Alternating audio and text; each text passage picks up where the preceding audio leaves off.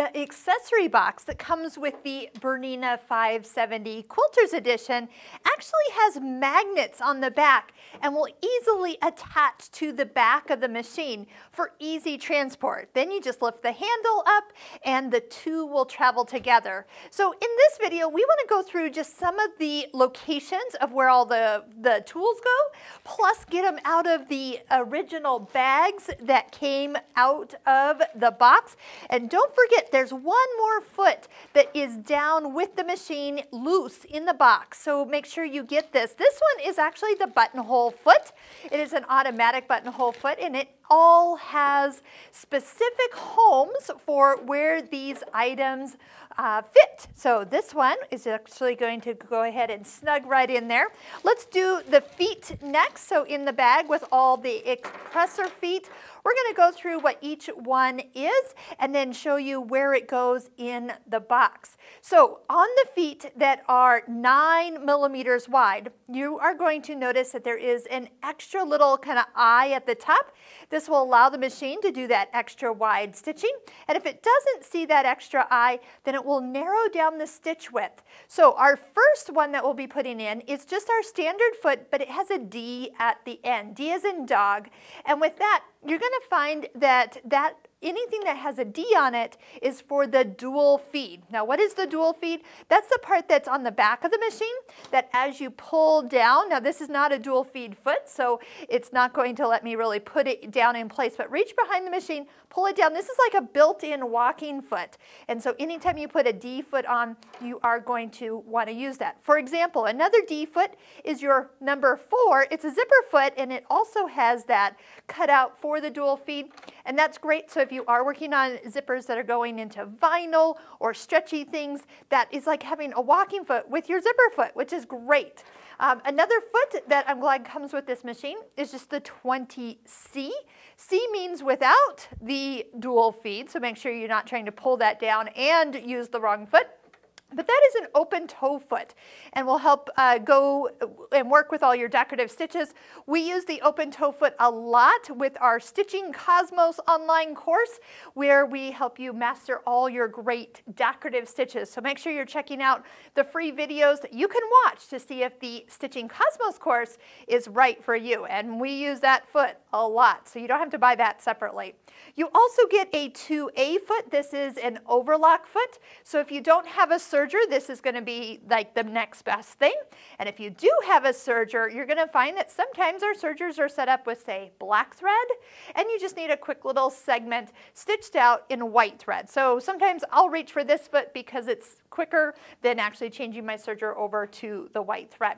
97. This particular accessory is your quarter inch foot, and you're gonna love that. We're gonna do uh, videos on all these feet, so you're really gonna get to know them in and out.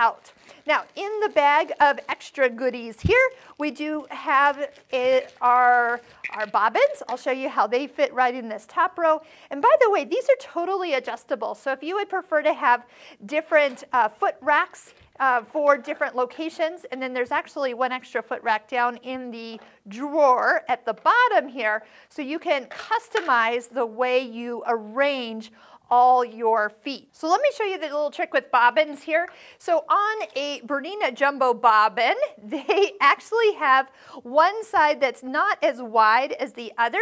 So you do need to actually flip them so they'll go into their little holder correctly. So that means that the silver side is actually pointing to the right side. And when you slide all these in, then they will be seated correctly. And then all you have to do to get them out is push down and they roll right towards you. So that is the right way to do the bobbins. Now, I'm always a fan of lots of extra bobbins and you'll notice that you actually have a holder for even more bobbins than what come with the machine. Let's talk about some other things in here. We actually have a stylus, so you can use this to e easily touch and choose things on screen. Uh, you can use your finger and you can use your fingernail. So there's lots of different things, but for those of you, sometimes when it's cold, I'm not, my fingers don't react to the screen, so this is actually your next best thing. So I'll just go ahead and set that. I'm gonna leave that out because I'm gonna actually use that.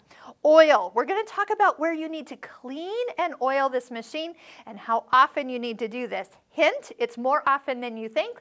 If you find yourself having any trouble with your machine working, probably just needs a little drop of oil. And we also have a super fast way to get in and out of the bobbin area. Get that oil in there. Uh, we do it once a day. So when you sit down to sew, definitely put a little drop of oil in there. And of course, if you're doing anything with linty fabrics, make sure you give it a good cleaning with the brush. No canned air. So we'll talk about that when we do our cleaning. Uh, we do have some other accessories. We've got a screwdriver for some of the few things that we actually take the screwdriver out. The little white guy here that fans out, that will help us go up and over really thick seams. That is a wonderful tool. Again, we'll show you all the cool things that this will be used for. And then plus we do have some extra spool pin pads that can actually go on when we thread our machine. So I'm gonna leave one of those out for when we get ready to thread.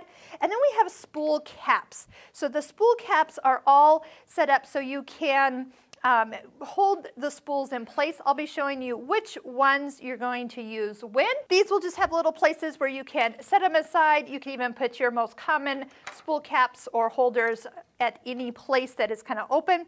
A Bernina seam ripper. Now, I know every sewing machine comes with a seam ripper, but a Bernina seam ripper is one of the sharpest I have ever used. So if you haven't tried this out, this is also something I tend to get a few extras of from my local Bernina store because they are so, so handy. And I know it's not something you want to talk about, but it is something that we do need to do. If you're wondering what to do with this little yellow piece, that was the piece that was around your uh, presser foot when it was shipped to you. If you never saw this, your dealer probably just threw it away, and that's exactly what I'm gonna do, is I'm gonna just put that in the trash. I don't need that really for any future traveling. So everything's just gonna go right back together. Everything's right at my fingertips. Close up that door, set that off to the side, and you've always got your accessories right at your fingertips with plenty of room to grow as you continue to add more accessories to your beautiful Bernina 570 Quilters Edition. Now, as we go on to all of our other videos, we're gonna do short, fast videos on all the different topics that we are covering throughout this machine. So I hope you'll check out all the videos at sewingmastery.com.